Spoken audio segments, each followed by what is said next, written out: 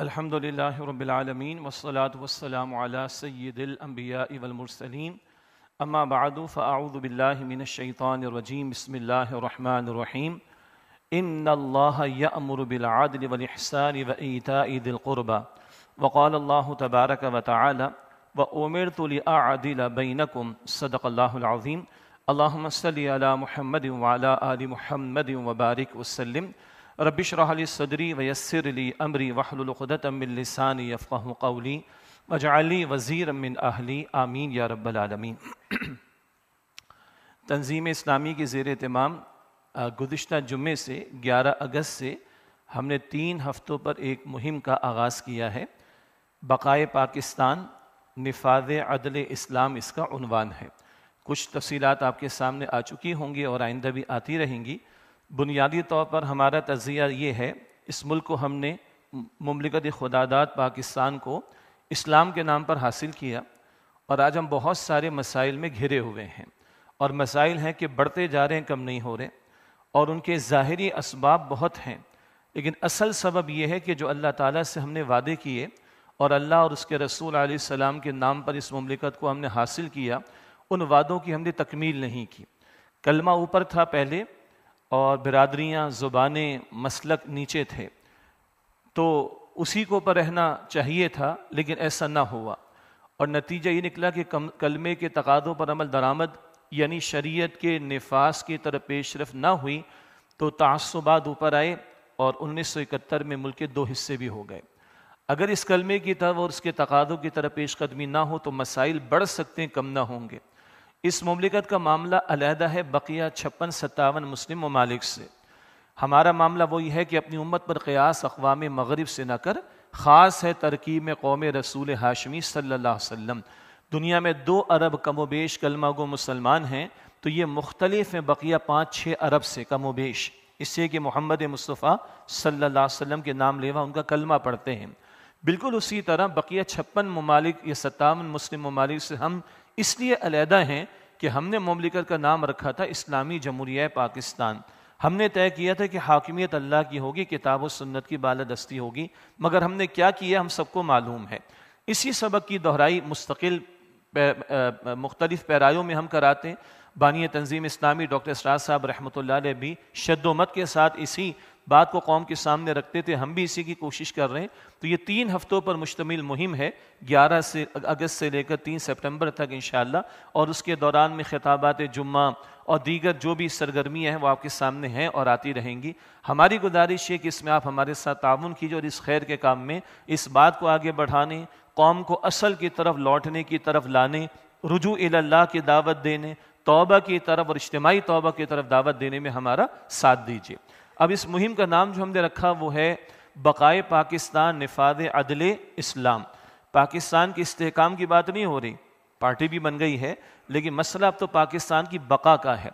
और बना अगर इस्लाम के नाम पर था, लिया अगर हमने इस्लाम के नाम पर था, लिया और बनाया था नज़रिए की बुनियाद पर तो नज़रिए की तरफ़ लौटना ही इसकी बका का जामिन होगा, इसके सिवा कोई रास्ता हमारे पास नहीं। अब निफाद अदल इस्लाम ये मुस्तकिल एक कलाम है, मुस्तकिल एक मौजू है। गाहे बगाहे इसका शद्दमत के साथ ज़िक्र आता रहता है। आज कुछ मैं कोशिश करूँगा कि इस अदल के माना को और इसके मुख्तलिफ़ पहलुओं को मुख्तसरा गुफ्तु में लाया जाए। आइंदा जुम्मा कराची में होगा, फिर इसके जो और तकादे हैं, नफास के ताल्लुक से इज्तमाही सतह पर इसके हवाले से मेहनत का मामला, अगलब यह है कि वो गुफ्तु फिर कराची में हो जाएगी इन खिताब जुम्मा में, और हमारा खिताब जुम्मा आप तक पहुँच भी जाता है, हमारी तंजीम की वेबसाइट पर भी दस्तियाब होता है, और इसके अलावा और फोरम्स पर भी वो दस्तियाब दस्तियाब कर कर दिया जाता है। जहाँ तक अदल की बात है, अदल ही के साथ एक और लफ्ज़ कुरानी करीम में किस्त इस्तेमाल होता है। ये दोनों अल्फाज तो कुरानी करीम इस्तेमाल हुए और तकरीबन सिनम्स हैं, तकरीबन हम माना हैं। अदल किससे कहते हैं? इसका एक सादा तर्जमा ये किया गया कि इफ़रात और तफरी से बचना तोज़ुन पर रहना और ये कि जिसका जो हक बनता है उसको दे दिया जाना। अलामा शबीर अहमद उस्मानी साहब रहमत के अल्फाज बड़े प्यारे हैं कि किसी फ़र्द के ताल्लुक से बदून इफ़रात व तफरीद न इफ़रात हो, न तफरीद एक्सट्रीम्स का मामला ना हो, जिसका वो मुस्तक है, वो हक उसको दे दिया जाए। ये फ़र्द के ताल्लुक से है। तो ना इफराद और तफरीद का मामला हो एक्सट्रीम्स का मामला ना हो, मुतनासिब मामला हो, और जिसका जो हक बनता है, वो दे दिया जाए, इसे अदल कहा जाता है। इसमें तफसील आगे ज़िक्र आ जाएगा, कुछ मिसालों से भी इन ताला। इसी अदल के साथ लफ्ज़ इस्तेमाल होता है, किस्त का कुरानी हकीम में। उस पर भी एक दो आयात आगे ज़िक्र कर दी जाएँगी। अलबत् आम तौर पर हम एक तर्जमा करते हैं लफ्ज़ इस्तेमाल करते हैं, इंसाफ का। वो लफ्ज़ अपनी जगह ठीक है, मगर उसका मफहम बनता है निसफ कर देना आधा कर देना। तो अदल का माना आधा कर देना नहीं है। मसलन एक शख्स के चार चार बेटे हैं मिसाल के तौर पर। एक बीस बरस का है एक पंद्रह बरस का है, एक दस बरस का और एक आठ बरस का है। तो क्या ख्याल है कि बीस बरस वाले और आठ बरस वाले दोनों की ज़रूरियात एक जैसी होंगी? नहीं बीस बरस वाले को भी एक हज़ार रुपये पॉकेट मनी दी जाए और आठ बरस वाले को भी तो ये ये अदल नहीं है। ये निस कर देना, बराबर बराबर कर देना, ये अदल का माना इस जगह नहीं है। हाँ कहीं कहीं होगा, मिसाल के तौर पर हकूक़ की बात की जाए, शहरी हकूक़ की बात की जाए, कानूनी हकूक़ की बात की जाए तो उस सबके लिए बराबर होंगे। ये नहीं कि आवाम तो सड़कों पर बेचारी चालान भुगतती रहे और बड़ी बड़ी मछलियाँ हाथ भी ना आए। जी और एक बंदा दस बरस की उम्र से अदालत के चक्कर लगाए और पचास बरस का भी हो जाए और उसका मसला हल ना हो और बाज़ वो हाई अफसों के जिनके लिए इस्तना मौजूद हो तो ये अदल नहीं है। कुछ मामला में शहरी हकूक़ कह लें, कानूनी हकूक़ कह लें, इन मामला में सबके हकूक़ क्या होंगे? बिल्कुल बराबर होंगे। तो कहीं इस माना में बराबर का मामला आएगा। लेकिन अदल का मतलब हमेशा निस या बराबर नहीं, बल्कि एक मफहूम के जिसका जो हक बनता हो उसको दे दिया जाए और एक मफहूम के अफरात और तफरी से बचने की कोशिश की जाए। अब ये जो पहली बात है कि अफरात और तफरी से बचना, ये इतना प्यारा जुमला है और आदल इतना गहरा मफाहिम पर मबनी लफ्ज़ है कि उम्मत मुस्लिमा को कुरान पाक कहता है कि कुन वकदारी का जालनाकुम उम्मत वसता। सूर्य बकरा की आयत नंबर एक सौ तैंतालीस तुम्हें तुम्हें उम्मत वसत बनाया। वसत दरमियान को भी कहते हैं बेहतरीन को भी कहते हैं और मतदिल को भी कहते हैं। यहूद किसी एक इंतहा पर निकल गए माद अल्लाह पैगम्बरों की शान में गुस्ताखियाँ कर, कर डाली। माद अल्लाह ईसा को शहीद करने की नापाक जसारत कर डाली। नसारा दूसरी इंतहा पर चले गए मोहब्बत के गुलू में इतना आगे गए कि उनको खुदा और खुदा का बेटा करार दे दिया। ये दोनों इंतहाएँ मना हैं, इसके अतदाल पर शरीयत मोहम्मदी है, सल्लल्लाहु अलैहि वसल्लम। इसी तरीके पर मीशत के मामला में देखें, दुनिया दो निज़ामों से वाकिफ़ है, जो एक प्रिवेलिंग है, वो कैपिटलिस्ट इकानमी है, और उस कैपिटलिस्ट के रद्द पे सोशलिज्म आ गया था। ये दोनों एक्सट्रीम्स हैं। इनके दरमियान की राह है, जो वही हमें अता करती है, कि फ़र्द की, मिल्कियत की भी गुंजाइश शरीयत अता करती है। मगर फ़र्द को मादर पेदर आज़ादी नहीं दी गई चेक एंड बैलेंसेस लगाए गए, इसको आप तोज़ुन कह लें, इसको आप बैलेंस कह लें, इसी का नाम आदल है। तो अदल का एक मफहम मुतनासिब मामला होना, इफ़रात तफरीद का मामला ना होना, इंतहाओं का मामला ना होना मतदिल राह पर रहना। ये एक अपनी जगह मजमून है और शरीयत मोहम्मदी जो अल्लाह सुबहान तला ने आता फरमाई। पिछली किताबों में तहरीफ हो गई, पिछली पैगम्बरों की तालीमत तो महफूज भी नहीं है। तो अब जो शरीयत हमारे पास मौजूद है, वो सरासर आदल पर मबनी है। और वो किसकी आता करता है? अल आदल किसका सिफाती नाम है? अल्लाह सुबहान तला का। एक और अंदाज से देखें ये नुकता बानी तंजीम इस्लामी डॉक्टर सराह साहब रहमत सुर फातिहा के दर्स के जेल में सरात मुस्तकीम के जेल में बयान करते थे। हम दुआ करते हैं सरात मुस्तकीम की, जो कुरान के ज़रिए आता हुआ और साहिब कुरान अलैहि के ज़रिए आता हुआ। और साहिब कुरान सलाम को ये आयत भी अता की गई सुर मायदा के शुरू में हजतुलविदा के मौके पर, अलयम अकमल तुलकुम दीन अकुम आज के दिन मैंने तुम्हारे लिए तुम्हारे दीन को मुकम्मल फरमा दिया।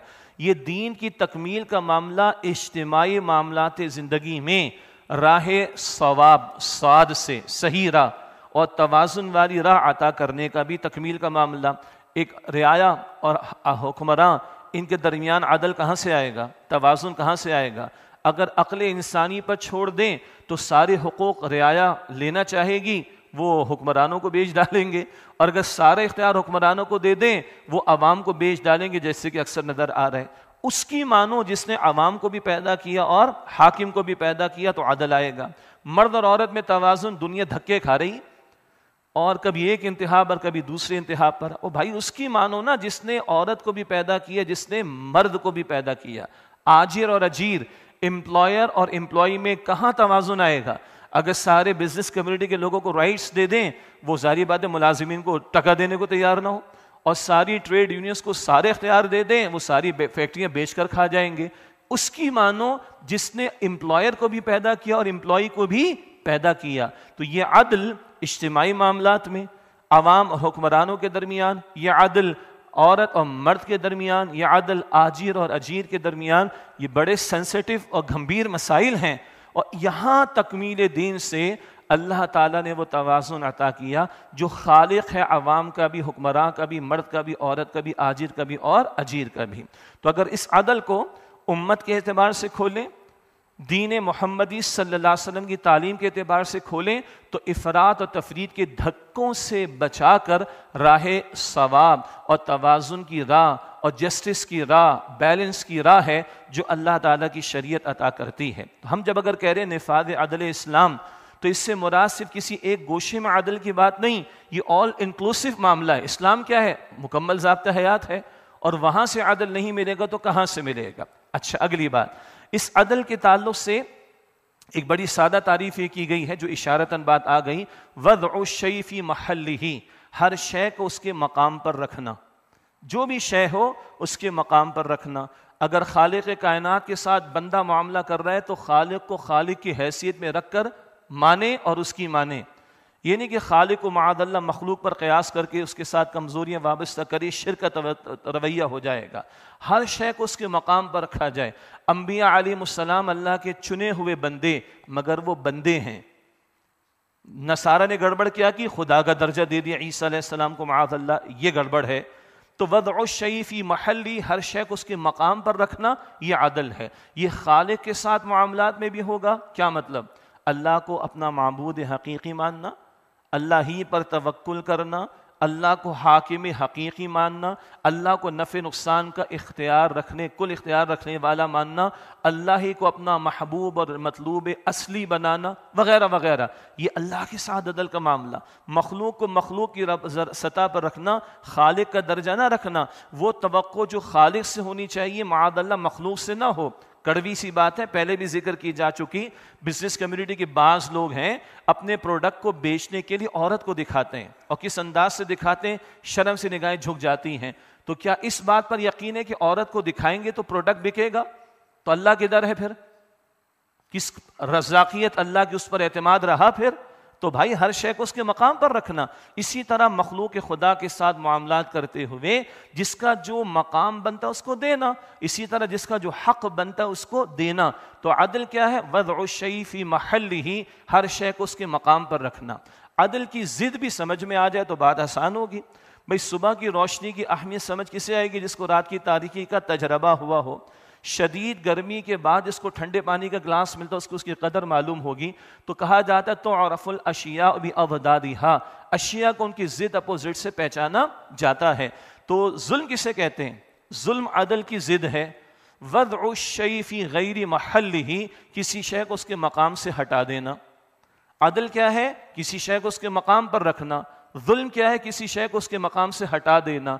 सबसे बड़ा जुल्म क्या है? सुरलुकमान की आयत नंबर तेरह इन शिरक लजुल्मज़ीम यकीन शिरक सबसे बड़ा जुल्म है। क्या मतलब? बंदा मखलूक में से किसी को खालिक के बराबर कर दे माद अल्लाह या खालिक के साथ मखलूक की तरह की कमज़ोरी वाबस्ता कर दे कि अल्लाह डायरेक्ट तो नहीं सुनता, मुट्ठी गर्म होगी तो अल्लाह सुनेगा। ये तो मखलूक का मसला है ना। चपरासी का हाथ गर्म किए बगैर अंदर फ़ाइल नहीं जाती, अक्सर मकाम पर। यह मखलूक का मामला है। खालिक का मामला तो ऐसे नहीं कि उसके लिए किसी को दरमियान में लाने की ज़रूरत पेश आए तो वद शईफ़ी गैरी महल ही, किसी शय को उसके मकाम से हटाना जुल्म है, और ये जुल्म आदल की ज़िद है, और सबसे बड़ा जुल्म क्या है, वो शिरक है। तो जब किसी को किसी मकाम उसके असल मकाम से हटाया जाए, ये जुल्म है, जब किसी शय को उसके असल मकाम पर रखा जाए, ये अदल है। दिलचस्पी के लिए कुरान हकीम में कमो बेश को 26 मकाम पर आदल का ज़िक्र आया है कमो बेश मुख्तलिफ़ पैरायों में आया है और मुख्तलिफ़ मामला के जेल में आया। कभी अगर एक से जायद बीवियाँ, मैक्सिमम चार की गुंजाइश तो उनके दरमियान भी आदल की बात की जाती है। कभी लिखत पढ़त का मामला हो, कर्ज का तो गवाह बनाने और किताबत की तालीम दी गई। ये लिखना, पढ़ना भी कर्ज के मामले का आदल के साथ होगा। कभी यहाँ ज़िक्र किया जाता है, कभी कहा जाता है कि जब फैसले करो तो आदल के साथ फैसले किया करो। तहकुम बिल आदल, लोगों के दरमियान फैसले करो तो आदल के साथ किया करो। कभी अल्लाह ताला अपनी शान बयान करता है कौ इमम बिल किस्त किस्त का लफ्ज़ भी हम माना के तौर पर आता है। आल इमरान की आयत नंबर अट्ठारह अल्लाह किस्त का कायम करने वाला है। कभी अल्लाह यूँ फरमाता हर जुमे में हम सुनते इन अल्लाह आदल। अल्लाह तुम्हें आदल का हुक्म देता है सूर्य नहल की आयत नंबर नब्बे।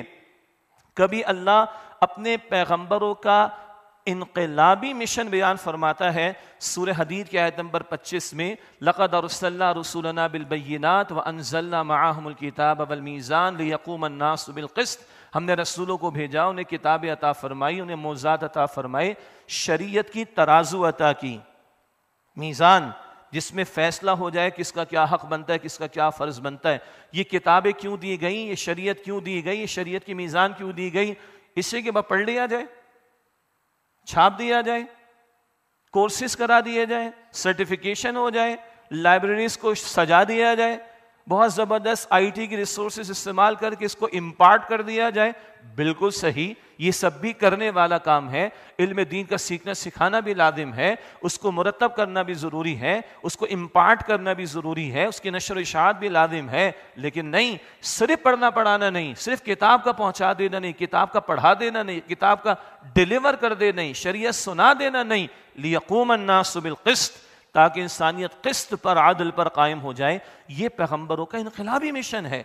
और जब पैगम्बरों के इनकलाबी मिशन की बात आ रही है, बल्कि अजीब बात है, तफसील का तो मौका नहीं, इस क़्याम किस्त के लिए निज़ाम इज्तमाही में आदल का क़्याम हो जाए जस्टिस का क़याम हो जाए, बंदों को बंदों के हकूक़ मिलें, हर शय को उसके मकाम पर रखा जाए, हर फर्द अपने दायरे में रहकर अपनी ज़िम्मेदारी को अदा करे, हर एक अपनी, मुझे इजाज़त दीजिएगा, हर इदारा अपनी औकात में रहकर अपनी जिम्मेदारियों को अदा करे। इस सब के लिए अल्लाह फरमाता हमने पैगम्बरों को भेजा और इस किस्त के क़याम के लिए ये ठंडे पेटों मामला होने वाला नहीं, ये कूल कूल माहौल में बैठकर मामला होने वाली नहीं फरमाया व अनजल हदीद, हमने लोहा भी आता किया है, फ़ी बासन शदीद, जिसमें जंग की सलाहियत है। अगर आदल की बात करें तो बंदों को बंदों की गुलामी से निकाल कर रब की गुलामी में लाना।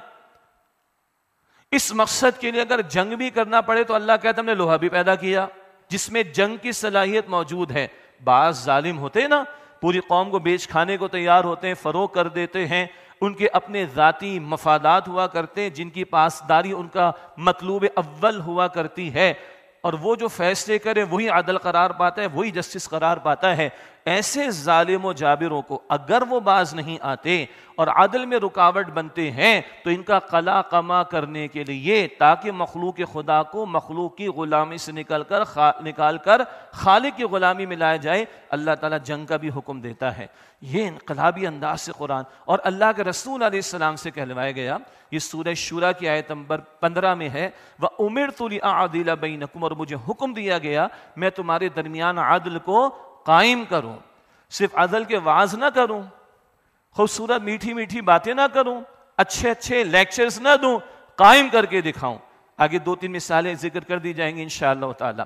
तो अल्लाह की निशान कौ इम बिलकिस्त किस्त का कायम करने वाला। अल्लाह अपनी शान सूर रहमान में बयान फरमाता है वसमा रफ़ा वल मीज़ान अल्लाह तगफ़िल मीज़ान वकीमुल वज़न बिलक़िस्ती वला तुखसिरुल मीज़ान। इस कायनात को अल्लाह ने किस्त पर पैदा किया, इसमें तराजू रख दी है। तुम भी मामला के अंदर इस तराजू के तकादों पर अमल करना, डंडी ना मारना तराजू में, जुल्म ना करना ज़्यादा ना करना, अदल के तकादे पूरे करना। ये जा बजा अल्लाह की शान। अल्लाह का फरमान, अल्लाह के पैगम्बरों का मिशन इमामबिया मोहम्मद मुस्तफ़ा अलैहि वसल्लम का मिशन। और अब अल्लाह ईमान वालों से फरमाता है सूर्य निसा की आयत नंबर 135 में भी ज़िक्र है सूर्य मायदा की आयत नंबर आठ में भी तस्करा है। अल्फाज का मुबेश एक जैसे, ज़रा सी तरतीब का फ़र्क है। या यूहल्लदीन आमन कून कवामीन बिलकिस्त शहादा अल्लाह ईमान वालों, किस्त के कायम बनने बनकर खड़े कायम करने वाले बनकर खड़े हो जाओ। ईमान वालों, किस्त के कायम करने वाले बनकर खड़े हो जाओ। शहादा अल्लाह अल्लाह ताला के लिए गवाही देने वाले बनते हुए और दूसरे मकाम पर फरमाया मायदा में, या युहल्लदीन आमन कून कवामिन शुहदा अबिल किस्त। ईमान वालो, अल्लाह के लिए खड़े हो जाओ।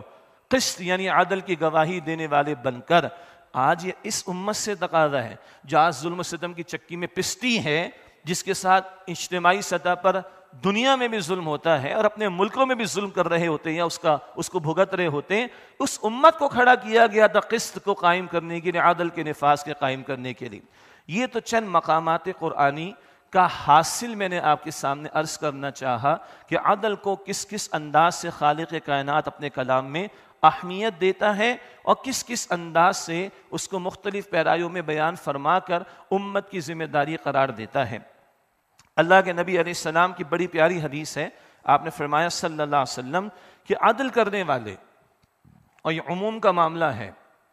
कुछ मिसालें आज ये फिर आइंदा के खिताब जुम्मा में आएँगी। एक दो मिसालें भी अर्ज़ भी करूँगा इन ये अदल का मामला उमूम का, ये जो जुमे के जुमे में सुर नहल के आयतम नब्बे की तिलावत की जाती इन बिलआदल। अल्लाह आदल का हुक्म देता है। तो ये उमूम का मामला है। ज़िंदगी के तमाम शोबों में जो जो जिस जिस कैपेसिटी में जहाँ जहाँ है, वो उन तमाम मामलात में अदल का रवैया इख्तियार करे। ये जेनरिक है। ये सिर्फ़ हुक्मरानों से मुतल नहीं, चंद अथॉरिटेटिव पोजिशन रखने वालों से नहीं, उनसे है और कदरे ज़्यादा भी है, मगर ये आपसे और मुझसे भी है। एक बाप से भी इसका तकादा है, एक उस्ताद से भी इसका तकादा है, एक रिश्तेदार से भी इसका तकादा है, एक बड़े से भी इसका तकादा है, एक छोटे से भी इसका तकादा है, एक अमीर से भी इसका तकादा है, एक खतीब से भी इसका तकादा है गिनते एक मेंटोर से भी इसका तकादा है। गिनते चले जाइए। हम जिस जिस पोजीशंस के अंदर हैं, वहाँ कुछ लोगों के हकूक हमसे मुतल जो हमारे फ़राइज हैं। तो कुछ जगह ये मामलात आते हैं, कुछ जगह ये हकूक आते हैं, कुछ जगह फैसले करना होते हैं। फैसले अदालत भी करती है हुक्मरान भी करते हैं, पार्लियामेंट वाले भी करते हैं, नैब वाले भी करते हैं, इलेक्शन कमीशन वाले भी करते हैं, अदालत के जजेस भी करते हैं और आप भी करते हैं। तो जो जो जिस जिस पोजीशन में है, वो इफराद तफरी से बचे। और अदल के तकादा पूरा करे, फैसले खुदा को हाजिर नाजिर जानकर करे कल अल्लाह को जवाब देना है, और जिसका जो हक बनता है उसको देने की कोशिश करे। ये जेनरिक है, ये अमूमी है, ये सबसे मुतल इस पर अल्लाह के पैगंबर सल्लल्लाहु अलैहि वसल्लम फरमाया कि अदल करने वाले क़यामत के दिन रहमान की दाएँ जानब नूर के मिंबरों पर होंगे। अदल करने वाले क़यामत के दिन रहमान की दाएँ जानब नूर के मिंबरों पर होंगे। वैसे याद रखिएगा, हदीस से मुबारक में आता है, अल्लाह के दोनों हाथ दाएँ हैं।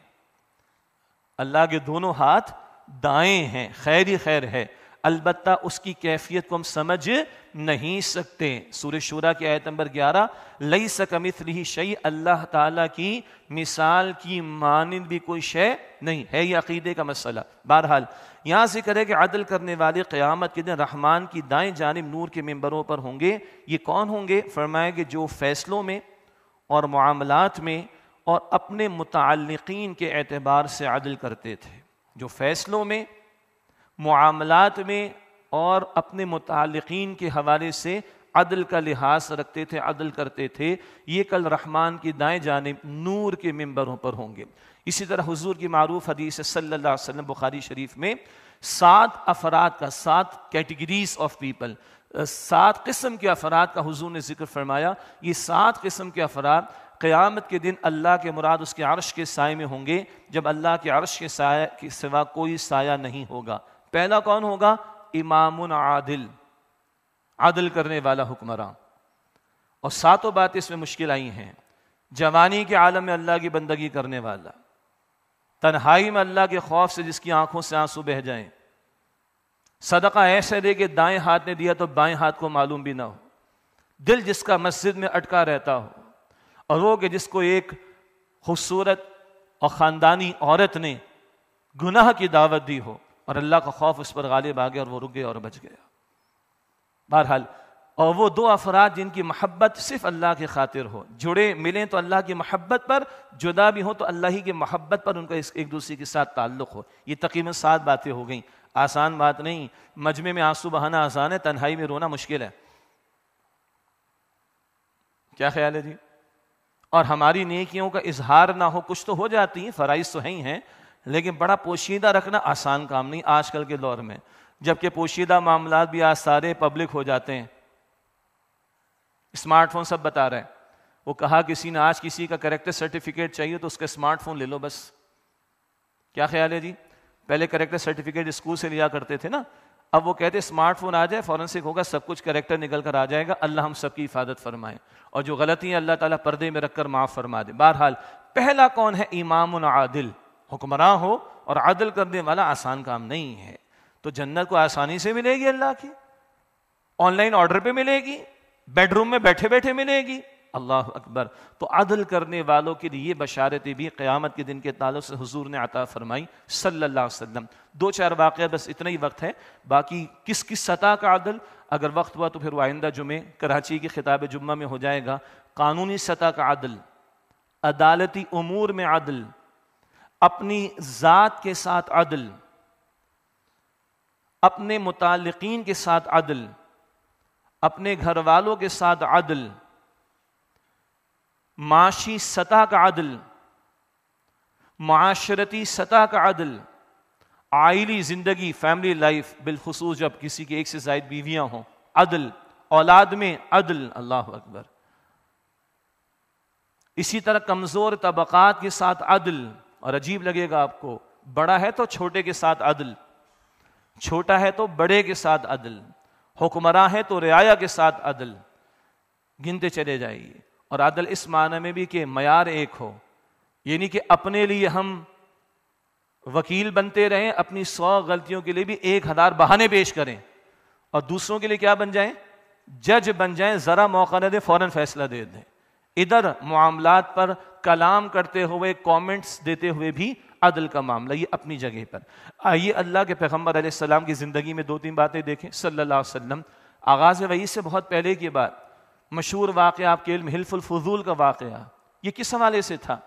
कुछ लोग जो माशरे में कमज़ोर तबक़ात या बाहर से कोई आया जिसको किसी कबीले की प्रोटेक्शन हासिल नहीं तो उसकी तो ज़िंदगी अजीरन हो जाती थी, उसका तो हक मारा जाता था, जुल्म ज़्यादती हो जाया करती थी। तो बाज़ अफराद ने मिलकर ये माहिदा किया, अल्लाह के रसूल सलाम इसमें मौजूद रहे। ये तो आगाज़ वही से पहले की बात है। बाद में हजूर ने फरमाया अलैहि वसल्लम ये आगाज़ वही के बहुत बात की बात है। आज भी अगर हिल्फुल फजूल जैसा कोई माहिदा हो जहाँ कमज़ोर तबक़ात, मज़लूम तबक़ात की दाद रसी के लिए कुछ लोग जमा होकर मेहनत करना चाहें और मुझे दावत दी जाए तो आज भी ऐसे माहदे में मैं शरीक हूँगा। इसी तरीके पर मशहूर वाक़ अल्लाह के रसूल सलाम की ज़िंदगी में एक मुनाफिक और एक यहूदी का मुकदमा पेश हो गया। सूर निसा में उसके ताल्लुक से रहनुमाई भी अता हो गई। अल्लाह का रसूल ने जब शवाहिद सामने आ गए, यहूदी के हक़ में फ़ैसला दिया। ये नहीं कि ये तो काफिर है ये नहीं कि यहूद तो इस्लाम के मानने वालों के सबसे बड़े दुश्मन है सूरतुलमायदा की आयत नंबर बयासी के मुताबिक नहीं। अदल के मुताबिक हक उसका था, रसूलुल्लाह ने उस यहूदी के हक में फैसला दिया खैबर की फतह हो गई, सात हिजरी हम जानते हैं, और इस बात पर इतफाक़ हुआ, जो फ़सल मिलेगी आदि मुसलमानों को वो देंगे और आदि यहूद की होगी। लिखा है सीरत की किताबों में, अब्दुल्ला बिन रवाहा रदी अल्लाह तशीफ ले गए, वसूली के लिए। फ़सल तैयार, फ़सल काट ली गई, दो हिस्से हुए तो ये नहीं कि बस ये मेरा हिस्सा मैं लेके जा रहा हूँ, ये हमारा हिस्सा मुसलमानों का। नहीं, ये दो हिस्से करने के बाद आधा आधा यहूद को ऑप्शन दिया, जो हिस्सा चाहो ले लो। वो उधर ही गड़ गए यहूद। ये आदल इन लोगों का, ये आदल के जो ज़मीन आसमान को थामे हुए हैं, ये अदल मोहम्मद मुस्तफ़ा के ग़ुलाम ने करके दिखाया, सल्लल्लाहु अलैहि वसल्लम वरदी अल्लाह तन ये खैबर के ताल्लुक से। अगला वाक़ तो बहुत मरूफ है कि एक फ़ातिमा नामी औरत ने चोरी की, बड़े ख़ानदान से थी, बड़े चहीते साहब उसामा रदी अल्लाह तु के ज़रिए सिफारिश करवाई गई। सिफारिश पहुँची तो रसूलुल्लाह सलाम का चेहरा सुर्ख हो गया। रसूलुल्लाह की मुस्कुराहटों का ज़िक्र तो बहुत आता है, कोई शक नहीं। ये ज़िक्र भी मिलता है, सबसे मुस्कुराता चेहरा रसूलुल्लाह का था, कोई शक नहीं। सल्लल्लाहु अलैहि वसल्लम। ये भी तो बताओ, जब अल्लाह का हुक्म टूटा तो सबसे बढ़कर गुस्सा किसको आता? अल्लाह के रसूल को। आज नहीं आ रहा उम्मत को। दीन की तालीमत का मज़ाक, दीन के अहकाम का मज़ाक, दीन के वाज अहकाम के ख़िलाफ़ कानून साजियाँ, जुल्म सितम चेहरों का रंग बदल नहीं रहा। तो अल्लाह के रसूल का चेहरा रहा, बदल गया, सुर्ख हो गया गुस्से के मारे। और आपने फरमाया, सल्लल्लाहु अलैहि वसल्लम, देखो, तुमसे पिछली कौम इसलिए बर्बाद हुई कि जब कोई बड़ा जुल्म करता तो छोड़ दिया करते थे, जैसे आज भी मैं तो बार बार अर्ज़ कर रहा हूँ ट्रैफ़िक पुलिस वाले लाहौर में भी चालान करते हैं, कराची में तो आजकल एक दर्जन खड़े होते हैं एक मोटरसाइकिल वाले को पकड़ने के लिए। बड़े फारिग लग रहे हो। पाँच सौ रुपए का चालान। और 50 करोड़ से ऊपर वाले, वो भी पकड़े नहीं जा रहे। 50 करोड़ से नीचे वाले, वो भी पकड़ में नहीं आ रहे। और खरबों की करप्शन करने वालों को पूछने वाला नहीं। ये जुल्म नहीं है तो और क्या आखिर? 500 तो गिरेबान चाक करके भी निकालेंगे, फाड़ कर भी. लड़ रहे हैं। पुलिस के एहलकार लड़ रहे हैं और आवाम भी लड़ रही है उससे। इसी तरीके पर पेट्रोल बढ़ा दिया, डॉलर ऊपर चला गया, बिजली बढ़ा दी, क्या करे आदमी? और इधर सैकड़ों और हज़ारों लीटर जो है वो बड़े हाई अफ्स को, वो फोर्सेस के लोग हों, वो अदालत के जजेस हों, वो ब्यूरोक्रेसी के लोग हों, सैकड़ों के हिसाब से और हज़ारों के हिसाब से पेट्रोल भी लीटर का मिल रहा है, लीटर मिल रहा है उनको, और उनके जनाब बिजली भी फ्री मिल रही है। बड़े बड़े हाउसेज हमारे, उनके जो किचन के खर्चे हैं वो करोड़ के अरबों में। और आवाम को आटा भी शायद नहीं मिलता, बेचारी लाइन में लग के मर जाती है। जुल्म है सारा। तुमसे बिजली हलाक, इसलिए हलाक हुए। छोटे ने जुर्म किया, उसको सजा देते। बड़े ने जुर्म किया, उसको छोड़ दिया करते। बिल फ़र्ज़ मुहाल, अगर मेरी लखते जिगर फातमत जहरा रदी अल्लाह तला बिल फ़र्ज़ मुहाल उसने भी अगर अमल किया होता, बिल फ़र्ज़, उसके भी हाथ काटने का मैं हुक्म देता। तो बातें नहीं की अदल कायम कर, दिखाया मोहम्मद मुस्तफ़ा ने। मुझे बताइए कि अगर निफाज अदल इस्लाम का यह मतलब है कि जालिमों को पकड़ो, मजलूमों की दाद रसी करो। हकदार को उसका हक दो, मुजरिमों को सजाएँ दो तो इससे पाकिस्तान क्या पूरी दुनिया के मसाइल हल होंगे कि नहीं होंगे? ये दावत हम देने की कोशिश कर रहे हैं। बाज़ वाक़ात हुजूर की ज़िंदगी के बाद के वो फिर किसी और मौके पर इन तो ये मुहिम मुस्तकिल हमारी इन जारी रहेगी। इसी सबक की हम दावत दे रहे हैं, इसी बात की तरफ़ तवज्जो दिला रहे हैं। अदल इस्लाम की तरफ़ नफाज इस्लाम की तरफ़ लौटने का मामला, इसके सिवा हमारे मसाइल का कोई हल नहीं है। बातें बहुत है, एक वाक़ जो पेश आगे, आया है, ज़ाहरी बात है उस पर हमें भी अफसोस है और फ़िक्रमंदी का मामला है और ये जो कुछ भी जड़ावाला में हुआ है ईसाई बरदरी की इमला के साथ और उनके चर्चिस को जलाने का मामला, ज़ाहिर बात हम सब उसकी मजम्मत करते हैं। किसी बेकसूर को सज़ा देना और किसी की इमलाक को बिला वजह जलाना कोई इससे इतफ़ाक़ नहीं करता, ये भी अदल के मनाफी है। और हमारा कहना यह है कि इस दीन इस्लाम हकूक़ अता करता अकलीतों को। आप देखिए ना वो खैबर के यहूदियों ने क्या कहा? जी, खैबर के यहूद ने क्या कहा? यह फैसला आदल का तुम लोगों का, इसी की वजह से ज़मीन व आसमान कायम है। मुसलमानों की तारीख में बदतरीन अदवार गुजरे, मगर कई कुछ मकाम पर वहाँ की गैर मुस्लिम अकलीत ने रिवोल्ट नहीं किया, आज़ाद होने की बात नहीं कि उनको पता था कि जितने हकूक मुसलमानों से मिलने, हमारे अपनों से नहीं नहीं मिलेंगे। तो तालीमत अपनी जगह पर हैं, गैर मुस्लिमों के बारे में, अकलीतों के बारे में, अगर वो एक इस्लामी रियासत में रहेंगे और उसकी इस्लामी रियासत की दस्ती को कबूल करेंगे तो उनकी जान, माल, आबरू, अकीदा, घर, इबादत गाह, उसकी हिफाजत इस्लामी रियासत की ज़िम्मेदारी होगी। हाँ उनको पब्लिक में अपने नज़रियात के प्रचार करने की इजाज़त नहीं होगी, सीधी सी बात। लेकिन उनकी जान है, माल है, आबरू है, अकीदा है, घर है और उनकी इबादत गाह है, उसकी हिफाजत इस्लामी रियासत और इसके अगेंस्ट इस्लाम तो कायम नहीं है ना। वो जिजिया देंगे और जिजिया गाली नहीं है, वो टैक्स होगा, जिसके अगेंस्ट उनको प्रोटेक्शन दी जाएगी। और पाकिस्तान के आइन में भी अकलीतों के हफूस, अकलीतों के हकूक़ के तहफ़ की जमानत दी गई है। ये बात अपनी जगह एक अहम मामला। दूसरा अहम मामला क्या है? हम दुनिया में रो रहे हैं कि कुरान पाक की बेहरमती हो रही। और अल्लाह माफ़ रखे, हमारे ममलिकत खुदादात में काम हो। कुरान हकीम की बेहरमती और रसूलुल्लाह सल्लल्लाहु अलैहि वसल्लम की शान अकदस में गुस्ताखी का मामला तो बताइए पूरी दुनिया में किस मुँह से बात करेंगे हम? तो अगर ये काम किसी ने किया है तो उस मुजरिम को सजा मिलनी चाहिए। और ये बहुत अहम मसला है 295 सी हमारे कानून में, आइन में मौजूद है और उसके तहत इस तरह की गुस्ताखियों पर सजाएँ मौजूद हैं। अफसोस से कहना पड़ता है, पिछली तमाम हुकूमतें, तमाम के तमाम कोई सीरियस नहीं। एक भी सजा का निफास आज तक नहीं हुआ इन गुस्ताखों के बारे में। माजी की फिगर मुझे पता है, साढ़े बारह सौ ज़्यादा साढ़े बारह सौ से ज़्यादा केसेस थे। गलत भी थे, मगर मुजरिम भी थे उनमें।